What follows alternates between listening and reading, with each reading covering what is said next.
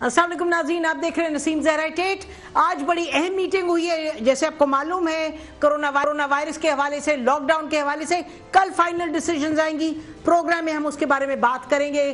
क्या सूबों की पोजीशन है, क्या अहम मसले मसाइल हैं? लेकिन इससे पहले कि हम बात करें इस पर के क्या कोरोना वायरस के हवाले से डेवलपमेंट्स हुई, एक बहुत अहम डेवलपमेंट आज हुई। पाकिस्तान की सियासी तारीख में कहें तो शायद दुरुस्त होगा कि चौधरी परवेज़ इलाई और चौधरी शुजात हुसैन साहब, जो कि हकूमत के इस वक्त एलाइज हैं और एक इस्टेब्लिशमेंट के साथ उनके अच्छे ताल्लुक हमेशा रहे हैं। आज उनको फाइनली ये कहना पड़ा कि जो नैब है, वो एक पॉलिटिकल इंजीनियरिंग के लिए इस्तेमाल होती है। उनकी तरफ़ से आज ये बात कही गई, जबकि उनकी पोजीशन ये थी, आज कोर्ट में वो नैब को लेके गए हैं, क्योंकि वो कह रहे हैं कि बहुत पुराने केसेस हैं जो उनके खिलाफ खोले गए हैं और उसकी कोई वजह नहीं बनती, कोई मंतक नहीं बनती। लेकिन ये कहने से कि पॉलिटिकल इंजीनियरिंग नैप करता है उसमें इन्वॉल्व है वो वहाँ आके खड़े हो गए हैं जाके तमाम और हुकूमत के अपोजिशन के लोग हैं हम ब्रेक लेंगे नाजिन ब्रेक के बाद हमारे साथ मौजूद होंगे minister of housing and works Tariq Bashir Cheema साहब और वो हमें बताएँगे कि क्या क्या हुआ क्यों आके यहाँ खड़े हुए और क्या खदशात हैं क्या शकूक हैं इस वक्त पीएमएलक्यू की लीडरशिप को कि उन्होंने नैब को ये कह दिया। हालाँकि इन द पास्ट उन्होंने नैप की तारीफें भी बहुत की हैं आफ्टर द ब्रेक दावत दी federal minister for housing and works Tariq Bashir Cheema साहब को, और वो हमें बताएँगे, क्योंकि वो पीएमएलक्यू के लीडर हैं, वो हमें बताएँगे कि ये क्या सियाक व सबाक क्या इसकी। बहुत शुक्रिया साहब बहुत शुक्रिया शुक्रिया चीमा साहब हमें ज्वाइन करने का। आज लगता है आप सब लोग चाह रहे हैं कि आप उनके प्रोग्राम में आए तो शुक्रिया कि आपने हमें टाइम दिया। चीमा साहब ये बताइएगा, लोग टाइमिंग पर सवाल उठा रहे हैं। जी ये वाकई बहुत बड़ा लंबा फिक्रिया है टाइमिंग के हवाले से कि हम हुकूमत के इतिहादी हैं। चले, ये इतिहादी होना तो एक सही पे रखें। असल चीज़ नसीम ये है, आप थोड़ा सा ठंडे दिल से सोचे और मैं समझता हूँ कि नैब अपने ऊपर सवालात को खुद पैदा करवाता है। ये सवालात कोई दूसरों की तरफ़ से नहीं आ रहे होते। नैब के रवैये मजबूर करते हैं कि लोग ये सवालात करें। अब मुझे ये बताएँ कि सन 2000 के या उससे साल पहले मुशर्रफ साहब के जमाने में जब नैब का क्याम अमल में आया तो पहली दफ़ा चौधरी साहब के घर पर छापा मारा गया। ये केस बना। ये जिसमें आप कहते हैं जी के लिविंग बियॉन्ड मीन उसके बाद एक मुकदम छापे पड़े वार्ड्रोब तक चेक किए गए बाथरूम की फिटिंग्स चेक की गई, उनकी रसीदें मांगी गई। क्योंकि ये रिसीवर दिखाए आपने कहाँ से ली है ये फिटिंग्स उसके बाद सारा रिकॉर्ड प्रोवाइड किया गया। वो प्रोवाइड वो रिकॉर्ड आज 21 सालों के बाद भी नैब की तहवील में है। और मैं आपको दो दो इसमें दो चीज़ें दिखाऊँगा। आप दो चीज़ें बताने की hello can you hear me किसी hello ji I can hear you very hello अच्छा तो वो इसमें दो चीज़ें जी जी आवाज़ आ रही है आपकी जी। तो, जी। एक तो खानजादा साहब का एक प्रोग्राम चला था डीजी नैब के साथ लाहौर में। डीजी नैब लाहौर का आज से दो साल पहले। तो उसमें उन्होंने कहा कि आप परवेज लाई मोदे सिलाई और आप इन सबको क्यों नहीं चेक करते, इनको क्यों नहीं पकड़ते? कहने लगा जी ये केस बहुत पुराने हैं अठारह साल पुराने हैं। आज यकीन वो बीस, इक्कीस साल हो चुके हैं। तो इनका सारा रिकॉर्ड हमारी तहवील में, हम सिर्फ़ मुंतजर हैं कि जो बाहर इनकी जायदादें हैं उनका हमें पता चल जाए ताकि हम केस को फाइनल करें। अब आप खुद अंदाज़ा लगाएँ कि जो नैब इक्कीस साल के अरसे में बाहर से जायदादों का पता नहीं करवा सकी, वो तो किस लिए नहीं करवा सकी? क्योंकि बाहर कोई असाफे हैं नहीं, बाहर कोई जायदाद मौजूद नहीं है। और ये एक हैंगिंग सोर्स के तौर पर जब ज़रूरत पड़े पोलिटिकल इंजीनियरिंग की इसको इस्तेमाल किया जाए। और ना ये केस अच्छा एक और मज़े की बात आपको नसीम बताऊँ कि ये लिविंग बियॉन्ड मीन्स का एक केस जो है ये दो हज़ार सतारह में जो इन्वेस्टिगेटिंग ऑफिसर था उसने लिखा कि इस केस में कुछ नहीं है, इसको क्लोज कर दिया जाए। टू थाउज़ेंड सेवेंटीन वो अभी तक लटक रहा है। उसके बाद आ जाए, दूसरा केस इन्होंने बनाया मुलाजमतों का। कोई ग्यारह मुलाजमतें बताते हैं अब मज़े वाली बात देखें कि मुलाजमतों के अच्छे को हो गया है पैंतीस साल एटी फाइव में वो वज़ीर बंदी आपके और एटी एट एटी नाइन तक वो वज़ीर पंजाब रहे। जावेद कुरैशी साहब सेक्रेटरी लोकल गवर्नमेंट थे, वो अल्लाह को प्यारे हो चुके हैं। उनके बाद एक सेक्रेटरी आए, वो भी अल्लाह को प्यारे हो चुके हैं। और टोटल स्पैन जो एक सरकारी मुलाजम का होता है, वो पच्चीस से तीस साल का होता है। जितने लोग भर्ती हुए, वो रिटायर हो चुके हैं। और ये इतनी काबल नैब है, इतनी काबल नैब है कि ये पैंतीस सालों में ये पता नहीं लगा सकी कि ये जो नौकरियाँ दी गई थी ये गलत दी गई थी कि सही दी गई थी? अब मुझे बताएँ इनके इसके बाद इस इस बात के बावजूद इसके अलावा कोई है कि आदमी अदालत जाए दरवाज़ा खटखटाए कि जी ये जब इनको ज़रूरत पड़ती है नोटिस सर्व हो जाता है। और उस नोटिस के सर्व होने के बाद अच्छा ये बताइए जी जी चीमा साहब क्यों ज़रूरत पड़ी है? थोड़ा सा स्याको सबाक पे आए आपको क्या लगता है क्यों ज़रूरत पड़ी है? किसके कहने पे ये हो रहा है? ये देखे जी मैं तो कुछ नहीं कह सकता जी देखिए हम हुकूमत के आदमी है। लेकिन ये this is the moral duty of the prime minister of this country to dig out कि ये अगर किसी के कहने पर हुआ तो किसके कहने पर हुआ? अगर कोई इसके पीछे है तो क्यों इसके पीछे है? वाई अब ये देखे ना, बहुत बड़ा सवाल है कि तीन रेफरेंसेज है। दो मैंने आपको बताया, तीसरा सुन ले, बिल्कुल डिफ़ॉल्ट का कर्जे माफ़ करवाने का। जस्टिस पहाड़ मोहम्मद चौधरी साहब ने एक दो फ़ोटो लेते हुए जस्टिस शबीर शाह साहब वेरी ऑनरेबल जज ऑफ़ द सुप्रीम कोर्ट उनकी सरबराही में एक कमीशन बनाया। अब वो कमीशन की रिपोर्ट मंगवाए। उस कमीशन की जो आखिरी रिकमेंडेशन लिखी हुई है, उसके बाद उन्होंने क्या है जी कि they are not involve no further proceeding और उसके बाद वो भी केस ऐसे पड़ा हुआ है, ना वो क्लोज किया गया, ना मुलाजिमतों वाला क्लोज किया गया। बारहा ऑफिसर लिखते रहे कि जी इन केसों में कुछ नहीं है। लेकिन आई डोंट नो ये क्यों इस तरीके से हो रहा है। और एक और मज़ेदार बात बताओ एक और प्रोग्राम आप टीवी का देखें। जनरल खालिद मकबूल साहब he was the chairman NAB general Amjad Sher साहब के बाद। वो चेयरमैन नैब थे। उन्होंने हामिद मीर साहब को एक इंटरव्यू दिया। जनरल अमजद हुसैन के पास जी। जी? जी जी। जनरल अमजद साहब जी carry on general Amjad Shoaib नहीं थे कभी जी चेयरमैन वो जनरल अमजद हुसैन थे। जी। जी जनरल अमजद शुएब साहब के बाद जनरल खालिद मकबूल साहब चेयरमैन नैब बने थे। हेलो जी। जी क्या जी जी आवाज़ आ रही है बोलिएगा जी बोलिए।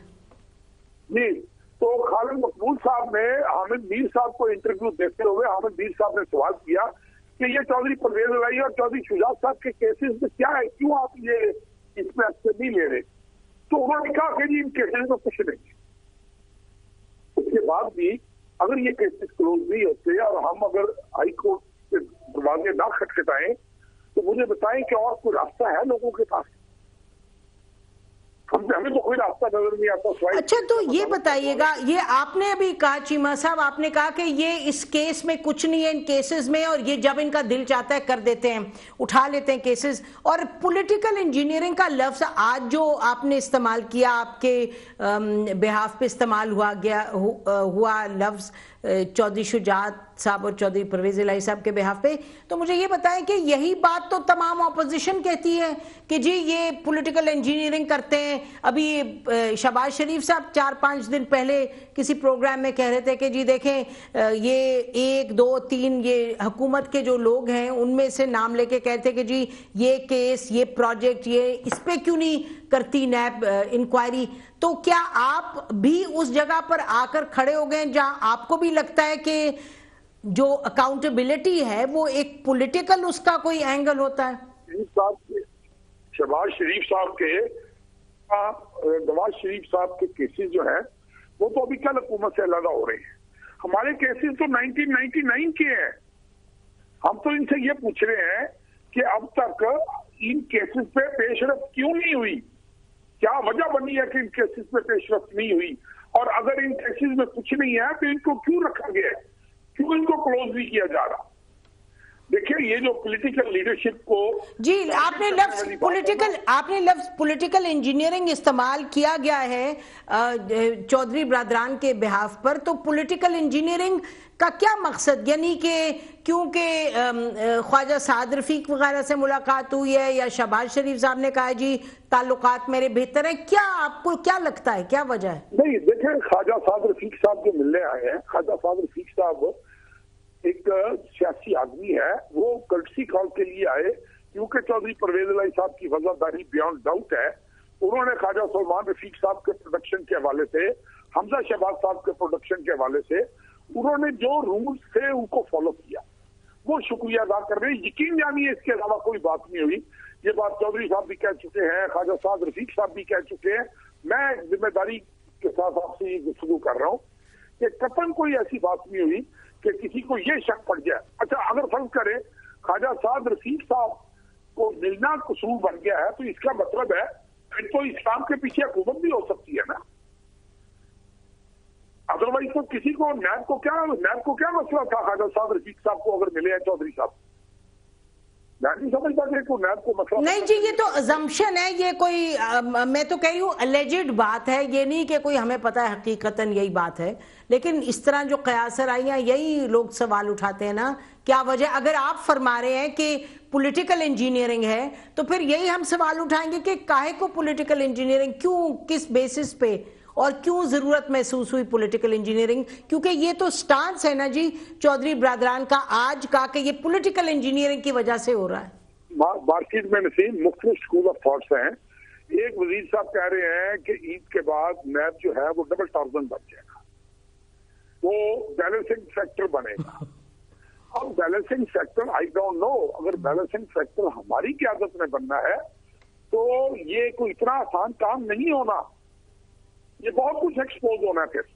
सिर्फ़ ये नहीं होना कि एक एक बैलेंसिंग टारगेट के ऊपर आकर हम्म। हमारी क्यादत की इज़्ज़त उछालने की कोशिश की जाएगी। तो इसी के इसी तरीके से डिफरेंट और भी स्कूल ऑफ़ थॉट्स हैं जो अपना अपना पॉइंट ऑफ़ व्यू पेश कर रहे हैं लेकिन मैं अच्छा एक सेकंड चीमा साहब चीमा साहब अभी आपने फरमाया कि अगर बैलेंसिंग एक्ट होगा तो फिर बहुत कुछ एक्सपोज होगा। इसका मतलब कुछ सीक्रेट्स लेके आप लोग बैठे हैं जो आप बात नहीं करते।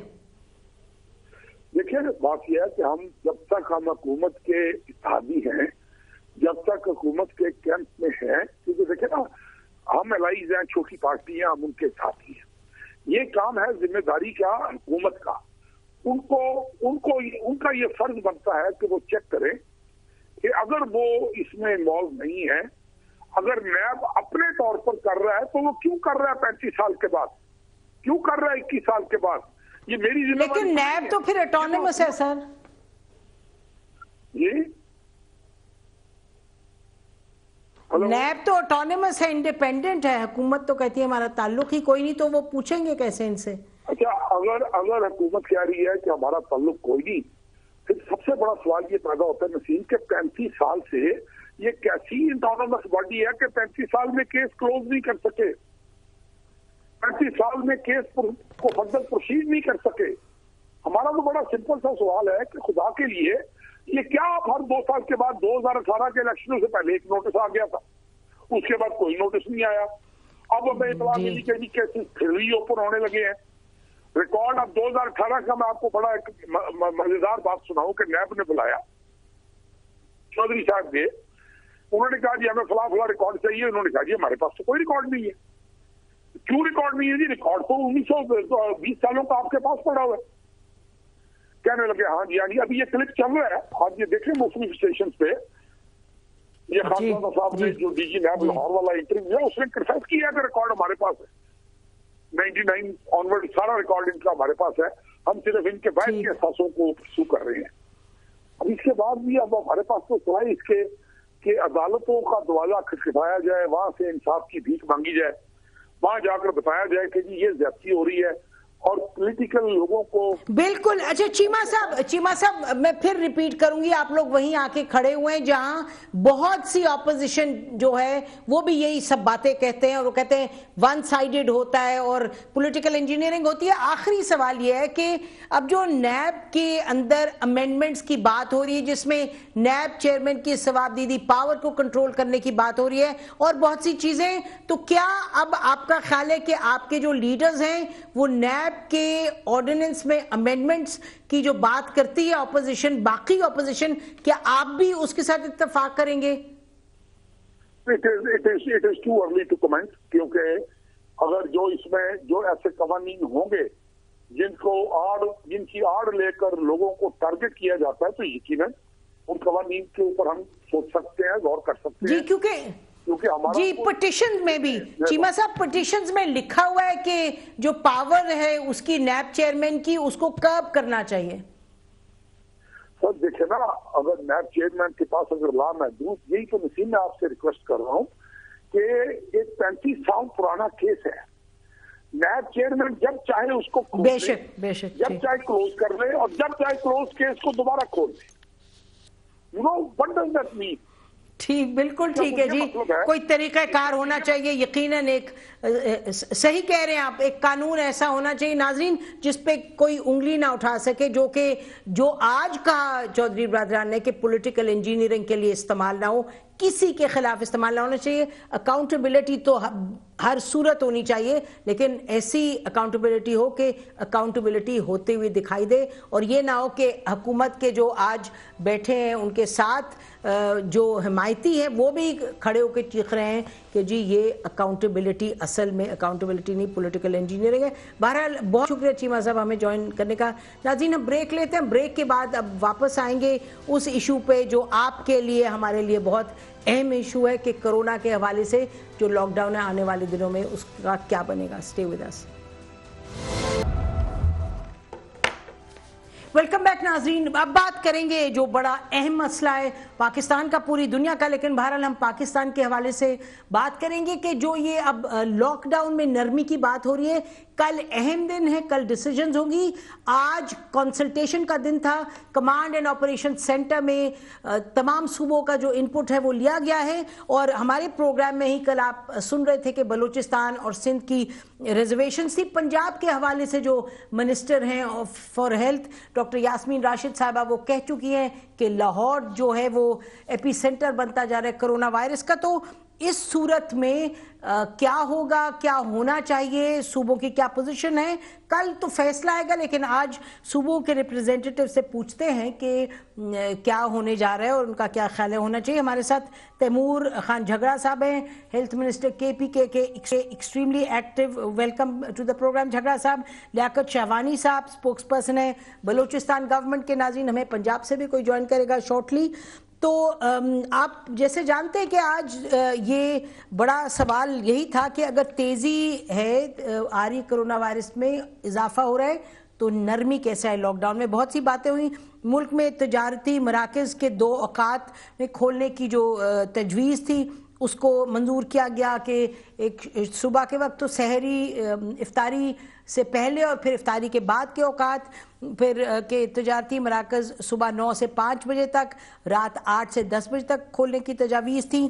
फिर शेख रशीद साहब की नाजिन जो पंद्रह ट्रेनें चलाने की तजवीज़ थी वो मुस्तरद कर दी गई। ये कहा गया कि फिल वक्त तो इस पर ये रिजर्वेशंस थी। डोमेस्टिक फ़्लाइट ऑपरेशन की बहाली की जो मंजूरी दी गई है, ये भी बड़ा दिलचस्प सवाल है कि क्या होना चाहिए, इसका इम्पैक्ट क्या होगा? और उसके बाद वफाक के हवाले से ये कहा गया कि के फजर के बाद से शाम पाँच बजे तक दुकानें खोली जाएँ और सूबों की और पोजीशन थी। और आज नाजरीन हेल्थ के साथ साथ हमने देखा कि एजुकेशन जो मिनिस्टर थे, उन्होंने भी एक कॉन्फ्रेंस की इसी हवाले से कि तमाम सूबों की पोजीशन ली जाए इस पर कि स्कूल खोले जाएँ किस वक्त और, यानी कि अब खोले जाएँ जून में कब। तो ये देखने में आया कि के पी के ने कहा कि जून के आखिर में खोल दिए जाएँ, लेकिन बाकी जो सूबे थे, उनकी रिजर्वेशन थी बहरहाल झगड़ा साहब आपके साथ शुरू करते हैं। तो आज जो डिस्कशन हुई है तो अगर हम इसको मद्देनजर रखें कि पेशावर के अंदर जो इस वक्त तेज़ी पकड़ी है कोरोना वायरस ने, फिर उसके बाद डॉक्टर्स के हवाले से भी, और एक और एक जनरल ट्रेंड है कि तेज़ी आ गई है इस वक्त, जो कि हुकूमत भी कहती प्राइम मिनिस्टर साहब भी कहते हैं। तो इस सूरत में जो थोड़ा सा इसको नरमी की बात हो रही है, किस तरह से how will this affect corona virus का स्प्रेड देखिए मैं नरमी का लफ्ज नहीं इस्तेमाल करूँगा। मेरे ख्याल में एक अगले फ़ेज़ में जा रहे हैं। हमने 13 मार्च से अपने लॉकडाउन का सिलसिला शुरू किया था फेडरल गवर्नमेंट से पहले। ये नहीं कि अगर इस सूबे में आ, हमारी गवर्नमेंट को लगे कि कोई डिसीज़न जो है वो ज़्यादा इंटरेस्ट में है तो वो हम और तरीके से ना करें। लेकिन फॉर द मोस्ट पार्ट तो यहाँ पे सबकी एग्रीमेंट थी कि हम एक फ़ेज़ से दूसरे फ़ेज़ पे जा रहे अब उनमें कुछ चीज़ों पे जो है वो मुख्तलिफ़ राय हो सकती है। फ़िलहाल हम शायद वो वायद सूबा है जहाँ पे दुकानें सारी जो खुली हैं वो भी चार बजे बंद हो जाती है। चार बजे के बाद कुछ भी नहीं खुला रहता। लेकिन आई थिंक कि जिस तरीके से हमें देखना चाहिए कि एक फ़ेज़ हमने देख लिया एक कोऑर्डिनेशन सूबों के और वफाक के दरमियान इस्टेब्लिश हो गई सारे सूबों की और बाकी भी जो फेडरेटिंग यूनिट्स हैं, आज़ाद कश्मीर और जीबी को मैं इनमें शामिल करूँगा। और उस कोऑर्डिनेशन के तहत हमें कोशिश ये करनी चाहिए कि जहाँ तक मुमकिन हो, हम इन एक इन स्टेप जाएँ। और उसमें हमेशा हमारे पास ये ऑप्शन है कि अगर वो काम ना करे तो हम अपनी स्ट्रैटेजी को रीएवैल्यूएट कर सकते हैं। उसमें हो सकता है कि दस में एक या दो चीज़ आप उसको रीवैल्यूएट कर सके। ठीक है गॉट योर पॉइंट जी। थोड़ा शहवानी साहब शहवानी साहब के पास मैं जाऊँगी। फिर आती हूँ आपके पास। नाजीन हमें मुसरत चीमा साहबा ने भी ज्वाइन किया कोरोना पर्सन कोरोना पर की जो फोकल पर्सन है पंजाब में वो है। बहुत शुक्रिया साहब आपने हमें ज्वाइन किया। लियाकत शहवानी साहब आप बताइएगा कल आप जो यहाँ प्रोग्राम में कह रहे थे, आपने बहुत क्लियरली कहा कि हम चाहते हैं कि हमारे जो अस्पताल हैं, वो वीरान रहें ताकि वहाँ पेशेंट्स ना आए। इसलिए हम अपने बाज़ारों को वीरान रखेंगे। तो ये जो आपने कल कहा, उसके हवाले से आज बताइएगा कि आज जो डिस्कशन हुई है, उस पर आप क्या कहेंगे? जी, हमारा मौकफ ये है कि पेशेंट का जो वैक्सीन है और जो मेडिसिन है, उसी से इलाज उसका मुमकिन है। और कोरोना का जो अवेलेबल वैक्सीन है, वो सोशल सोशल डिस्टेंसिंग है और जो मेडिसिन अवेलेबल है, वो है लॉकडाउन ये ग्लोबली प्रोवीन है। हम आज भी यही कहते हैं, आज भी हमारा जो 31 मई के बाद फ़र्स्ट जून से स्कूल खोलने की जो तजवीज आई, उस पर बलूचिस्तान गवर्नमेंट ने इसीलिए एग्री नहीं किया क्योंकि जो ट्रेजेक्ट्री हम देख रहे हैं, जो रिपोर्ट्स हमारे सामने आ रहे हैं परसों तक मैं डबल डिजिट्स में कोरोना पॉजिटिव केसेस रिपोर्ट करता रहा 20, 30, 40, 50, 60 परसों शाम से 103 कल एक सौ चौहत्तर। आज जो है अभी सात सौ तिरानवे रिपोर्ट मुझे मौसू हुए हैं जिनमें एक सौ अड़सठ पॉजिटिव आए हैं। एक सौ अड़सठ में से एक सौ सात सौ तिरानवे में से एक सौ अड़सठ का मकसद ये मतलब है इक्कीस परसेंट। अगर यही तनासब आगे बढ़ती जाती है तो फिर हमारे पास या किसी भी जी शूर शख्स के पास ऑप्शन यही रह जाता है कि जो अवेलेबल वैक्सीनेशन है सोशल डिस्टेंसिंग और जो अवेलेबल मेडिसिन है लॉकडाउन इसी पे इक्तफा किया जाए। और मैं तो ये समझता हूँ कि जो पहले हमने लॉकडाउन किया था, वो इतना स्ट्रिक्ट नहीं था, फिर हमने पाँच सेक्टर रिलैक्स किए, जिसके बाद आवाम ने जो है बड़ा इसको इजी लेना शुरू कर दिया कोरोना को। जनरली चूँकि प्राइम मिनिस्टर साहब भी पहले बोल चुके हैं डॉक्टर ज़फ़र मिर्ज़ा साहब भी एक्सपर्ट्स भी, पाकिस्तान में डॉक्टर्स भी कह रहे हैं कि मंथ ऑफ़ मे जो है कोरोना के स्प्रेड के हवाले से बड़ा खतरनाक है। बड़ी रैपिड ग्रोथ जो है उसमें प्रेडिक्ट की जा रही है। तो उस बुनियाद पे अब ये नज़र आना भी शुरू हो गया है। लिहाजा मंथ ऑफ़ मे हम ये समझते हैं कि अगर इसमें मुकम्मल लॉकडाउन किया जाए, सख्ती लाई जाए और आवाम को इस बात पे पाबंद किया जाए कि टू वीक्स एटलीस्ट वो मुकम्मल हर एक चीज़ की कुर्बानी देते हुए घरों पे बैठ जाए और दो माह बाद जब हालात बेहतर हो तो फिर लॉकडाउन को रिलैक्स करने का फ़ायदा हो सकता है। अब अगर हम लॉकडाउन मज़बूत नहीं करते स्प्रेड बढ़ती है फिर आपको हॉस्पिटल आपके बंद हो जाएँगे पेशेंट से जो है भर जाएँगे फिर आपको हॉस्पिटल लॉकडाउन करने पड़ेंगे।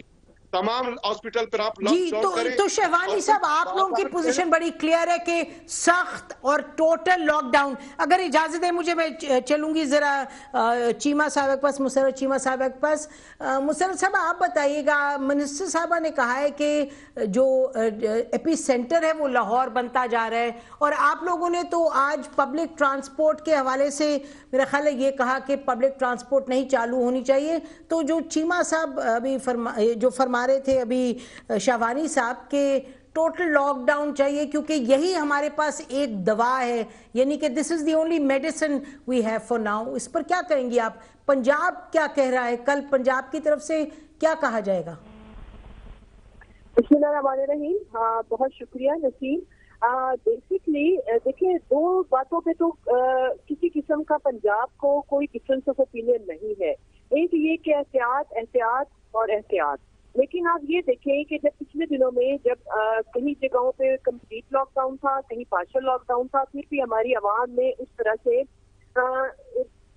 हाउ टू से कि कॉपरेट बिल्कुल ही नहीं किया कई कई मामलों में। लेकिन अभी दिस इज़ द टाइम ये बात बिल्कुल सही है कि इस वक्त लाहौर पूरे पंजाब के केसेस एक साइड पे और लाहौर में जो केसेस हैं वो बहुत ज़्यादा हैं। और उसकी वजह ये है कि एक तो बड़ा शहर है गुंजान आबाद है, फिर जो अनफॉर्चुनेटली इसमें जो नंबर ऑफ़ पीपल जो बाहर से आए, उनकी तादाद बहुत ज़्यादा है, जिनमें बहुत सारे लोग पॉजिटिव थे। तो चले ये तो एक पास अभी आगे फ्यूचर और आज हमें क्या करना है? देखें, सबसे सबसे पहले तो ये कि स्कूल बिल्कुल भी देखें, हमारे बच्चों की ज़िंदगी, हमारी पहली प्रायोरिटी है। तो इसलिए पंजाब गवर्नमेंट भी का भी जो स्टांस है वो यही है कि अभी at this point of time we can't say कि हमें स्कूल प्लान डेट को खोलने हैं या प्लान डेट को नहीं खोलने, वजह ये कि अभी इस वक्त तो अगर हम देखें तो थोड़ा चीज़ें पीक की तरफ़ जा रही हैं।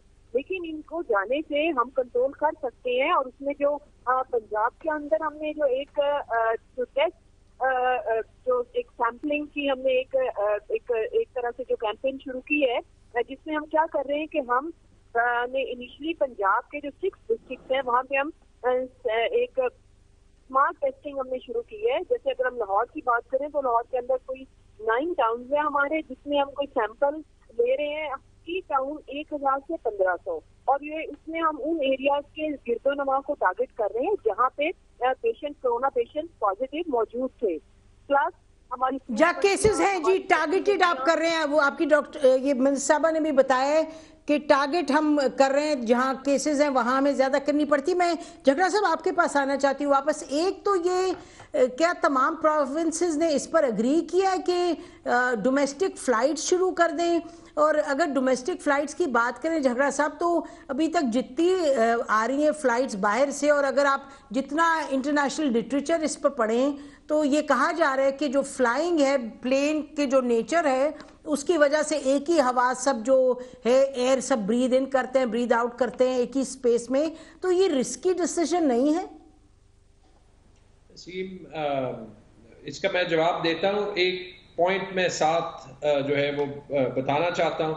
इसका जवाब तो ये बिल्कुल आप इस फैसले को भी टू वे जो है वो देख सकते हैं। लेकिन एक फैसला इस पे लेना पड़ेगा वन वे और दी अदर इंटरनेशनल फ्लाइट्स खुली हुई हैं और वो मैनेज हो रही हैं, और जहाँ भी अगर आप बंद रखें, उसका इम्पैक्ट आपके लिए जिस तरीके से लोगों की मोबिलिटी ना ना बंद रखने पे होगा तो बिल्कुल आप इसको दोनों तरफ़ जो है वो देख सकते हैं, लेकिन मेरे ख्याल में अनकंट्रोल्ड रिस्क इसलिए नहीं है क्योंकि आप बहुत से ममालिक को देखें तो वहाँ कभी डोमेस्टिक फ्लाइट्स जो है वो नहीं कंटिन्यू हुए थे नहीं बंद हुए थे। तो I think that's just an example लेकिन पॉइंट मेरा ये मैं आपको अपने टाइम का बता देता हूँ। We been working 16 hour days for the last 50 days लेकिन अभी हम इस पॉइंट पे आ गए जहाँ पे हम हेल्थ में हेल्थ में ही ले लें कि हम ये अभी देख रहे हैं कि कोरोना के अलावा हमारी जो रूटीन इम्यूनाइजेशन है आ, हमारी जो पोलियो की कैंपेन है हमारी जो बाकी हेल्थ केयर की आ, बड़ी प्रायोरिटीज हैं जिनसे उतनी जाने बचनी है जो कोरोना से बचनी है। हमने किसी तरीके से उन और प्रायोरिटीज को भी टाइम देना होगा। तो अगर वो हमने हेल्थ केयर में करना है वही हमने कोरोना में भी करना है आई थिंक ये पॉइंट अच्छा आप जी जी जी झगड़ा साहब अनफॉर्चुनेटली अनफॉर्चुनेटली टाइम खत्म हो गया लेकिन आपको हम फिर कल भी दावत देंगे क्योंकि कल डिसीज़न आ गया होगा। नाजरीन प्रोविंसेस को फिर बुलाएँगे उनके पॉइंट ऑफ़ व्यू लेंगे। अभी झगड़ा साहब ने एक बड़ी दिलचस्प बात की और ज़ाहिर है एक रेलिवेंट बात भी है। उन्होंने कहा कि जी और भी हमारे मेडिकल अटेंशन की रिक्वायरमेंट है चाहे पोलियो के इम्यूनाइजेशन का जो है कैंपेन वो है, चाहे और चीज़ें तो हमने खाली कोरोना पर नहीं फोकस करना और कोरोना के अलावा भी हैं बीमारियाँ जिससे लोगों की जान जाती है। ये एक डिबेट अहम डिबेट है और कल इसको हम कंटिन्यू करेंगे क्योंकि ये भी सवाल उठता है कि क्या कोरोना का इतना क्या मसला है कि सारा फोकस ही उधर चले जाए, लेकिन उसका जवाब तो आपके पास है, लेकिन इस जवाब पर और कल तफसील में बात करेंगे। हमारी तरफ़ से आज इतना ही। खुदा हाफिज। पाकिस्तान, जिंदाबाद।